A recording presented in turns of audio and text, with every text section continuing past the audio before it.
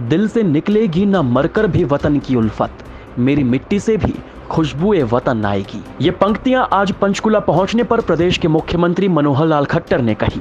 मुख्यमंत्री आज सतासीवे शहीदी दिवस पर पंचकुला के सेक्टर 11-15 के चौक पर शहीद भगत सिंह की प्रतिमा का अनावरण करने पहुँचे थे। इसी दौरान स्कूली बच्चों के इनकलाब जिंदाबाद और भारत माँ की जय के नारों का जवाब। मुख्यमंत्री मनोहर लाल खट्टर ने ये पंक्ति के साथ दिया।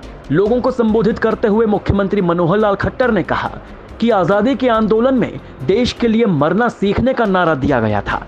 लेकिन अब आज़ादी पाने के बाद देश के लिए जीना सीखने का नारा देने की ज़रूरत है। मुख्यमंत्री खट्टर ने कहा कि आज कुछ विदेशी ताकतें हमारे देश पर बुरी नज़र टिकाए हैं। लेकिन विश्व की कोई भी ताकत हो, हमारा बाल भी बाका नहीं कर सकती, क्योंकि देश के युवा ऐसी ताकतों को नाको चने चबाने की हिम्मत रखते हैं।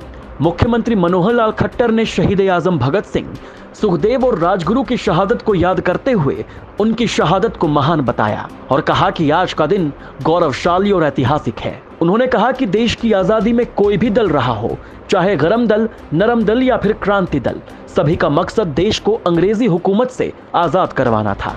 उन्होंने कहा कि आज एक भगत सिंह नहीं, बल्कि हज़ारों भगत सिंह पैदा करने का जज्बा हमारी माताओं में है।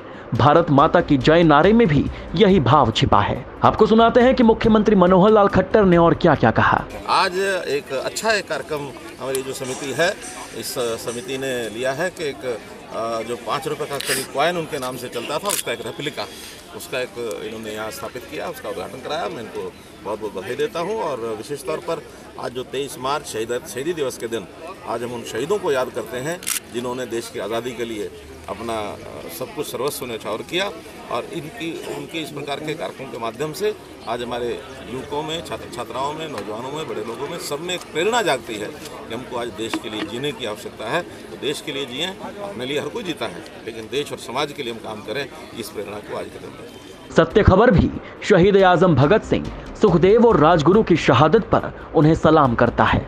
सत्य खबर के लिए पंचकुला से उमंग की रिपोर्ट। आप देख रहे हैं सत्य खबर।